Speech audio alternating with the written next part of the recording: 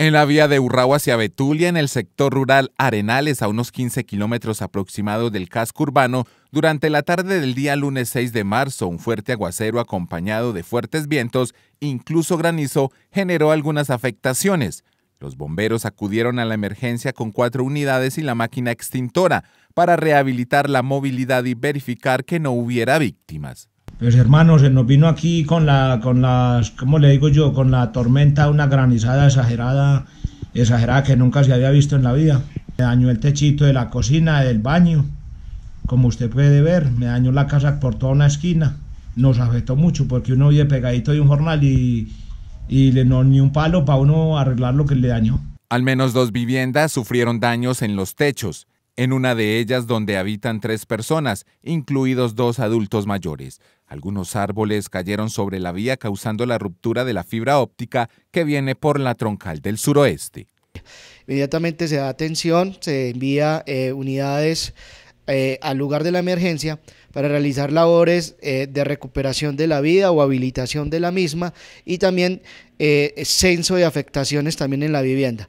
También se hacen trabajos con la comunidad, inspecciones en el lugar y se suministra, digamos, unos plásticos como ayuda inmediata para cubrir, digamos, las afectaciones eh, de la vivienda y posteriormente también se pasa el reporte al Consejo Municipal de Gestión de Riesgo. Apenas si empiezan las primeras lluvias del año y en el barrio Buenos Aires algunas familias vuelven a estar bajo el agua.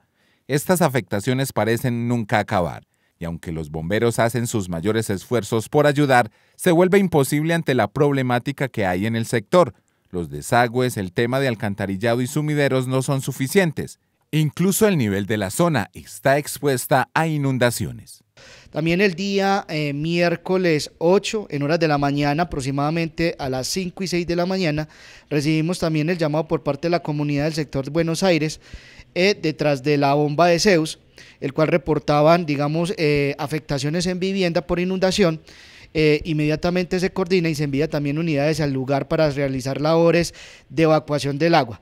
Allí también se evidencia mal manejo de las basuras, el cual obstruye, digamos, eh, la red alcantarillado principal, generando, digamos, represamiento de las aguas, lo cual fue necesario eh, trabajos continuos eh, en el transcurso del día y en el apoyo también de las empresas públicas para poder encontrar la tubería principal, abrir, digamos, unos huecos para poder sacar la basura que se encontraba en el sector y hacer servicios de mantenimiento de la red con la máquina para poder evacuar el agua en el lugar.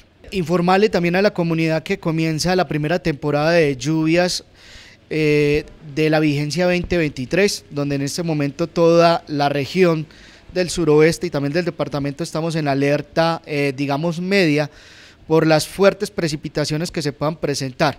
Recordemos que en el municipio tenemos ya unos sectores vulnerables eh, por inundaciones, donde ya están identificados, donde deben hacer unos manejos que debe empezar por parte de la comunidad, el manejo de los afluentes, de las basuras, eh, del mantenimiento y limpieza de los caños y también de las redes internas eh, de alcantarillado.